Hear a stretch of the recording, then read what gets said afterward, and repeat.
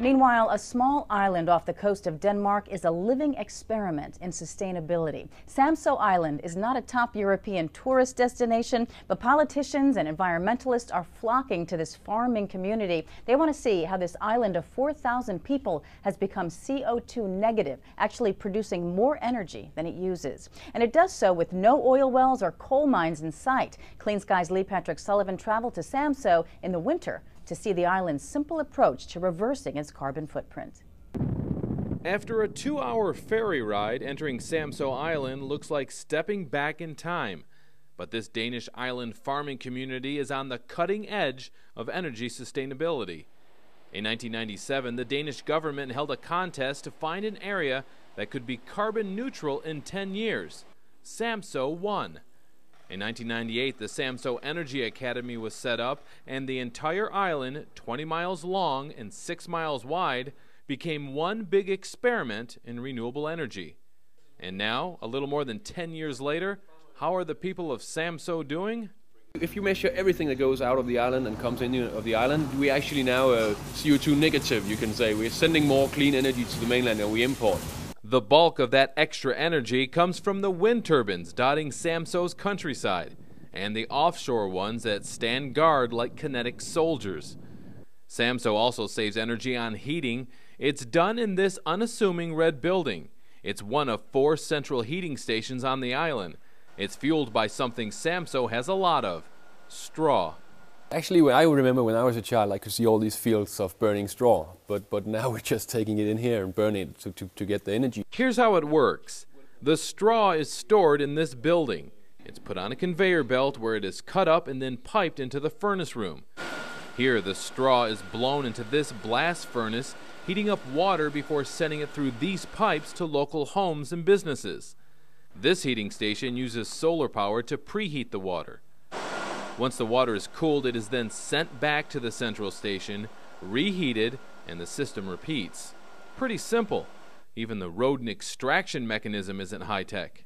It boils down to it, you're burning straw and boiling water, aren't you? Exactly. It's, it's not really rocket science, uh, and I think it shouldn't be.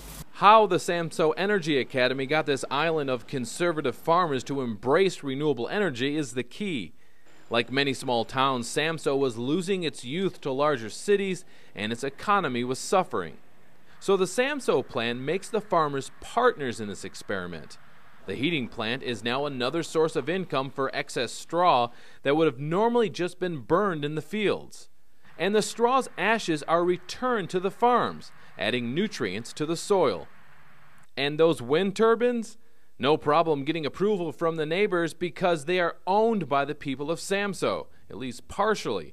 Shares in the turbines were sold to residents like Inge Larsen, real estate agent by day, energy entrepreneur by night. She says without the profit motive, the community would never have signed on. If, if, the, if it hasn't been, been a good buy, we wouldn't have done it. It, it would just have been another bunch of hippies, I'm sure. The folks at the Energy Academy know that they're a small island, but say if countries think of neighborhoods instead of cities, it can be replicated. It, it seems uh, it seems unrealistic when you are Cairo or New York or something like that to do this, but then you just have to define your area. Say, we, now this area, we want to do this 100%, and maybe the next areas will follow.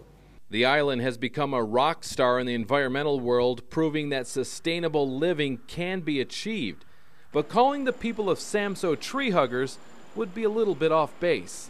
They've been stressing climate for the, for the last few years, and, and we never thought about climate to begin with. It's not important to us. That's not what we're talking about. It's uh, being independent because we use sustainable energy. It's, it's only a matter of defining your project and then do it not, not to save the world, but to save that area. I mean, that's very a, a key thing to this. We did this to save Samso, not to save the world. There are still challenges for Samso's energy independence.